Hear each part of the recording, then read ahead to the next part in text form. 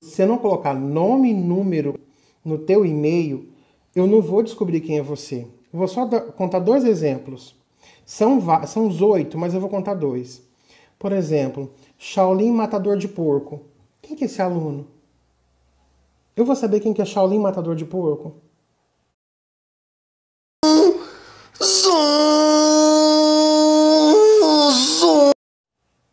Flavinho do Pneu.